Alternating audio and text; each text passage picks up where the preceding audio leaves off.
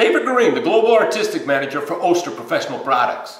I'm going to share with you a couple of quick tips about blades on the Classic 76 right here. Every time you go to put a blade on the 76, I advise you to keep the tool running.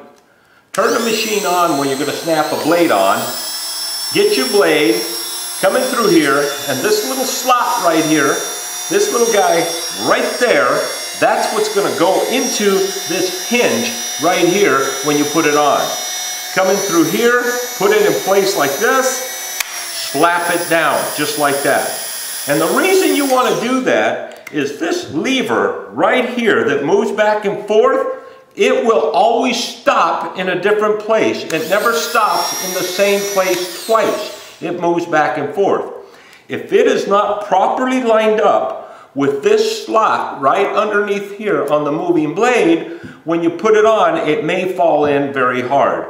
Once it falls in very hard, you may round out the corners of this little lever right in through here, which will make your blades get loose as you use them and have a slight wobble. When you have a slight wobble, that is actually going to pull hair on your clients, and a lot of people think it's because their blade is dull, when really all they've done is rounded out that little lever right in through there. Prevent that from happening, keep it running when you snap a blade on. It's not going to cut your fingers, just simply turn it on, put your blade in place, drop it on. In the middle of a haircut, you want to change blades, put your finger right over it while it's running, take it off, set it down, grab your other blade, put it on, snap it in place just like that. Super easy, super quick.